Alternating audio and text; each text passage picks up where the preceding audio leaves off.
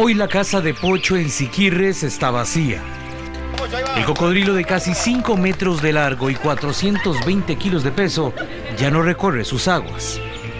Tampoco juega con su inseparable amigo Gilberto Scheren, también conocido como Chito, como lo hacía hasta hace pocos días. Pocho murió el lunes. Se le halló en el playón del estanque en donde cada mañana se encontraba con Chito.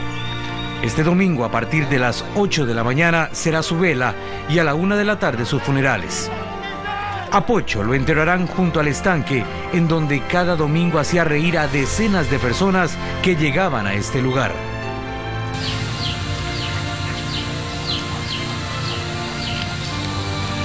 Muchos niños han llamado muchas familias, entonces queremos darle el último adiós a Pocho.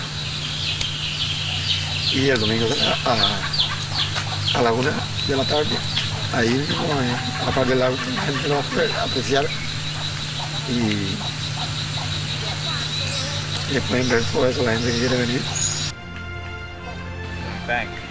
La fama de estos amigos inseparables recorrió el mundo entero. Bueno, Pocho rompió todas las fronteras, África, Alemania, todo lo que es los continentes, todos los continentes lo rompió Pocho. Ahorita me acaban de llamar de África, dándome las, el color. y no les pude contestar. Pocho tenía 65 años y por más de 20 pasó junto a su amigo. Se conocieron en el río Parismina. Pocho tenía una bala en la cabeza y Chito lo curó con la ayuda de un amigo. A partir de ese momento formaron una amistad que con los años se fue haciendo cada vez más fuerte. Hoy Pocho ya no está físicamente con nosotros, pero sus hazañas y juegos quedarán en el corazón de miles de personas que lo vieron hacer cosas increíbles con su hermano.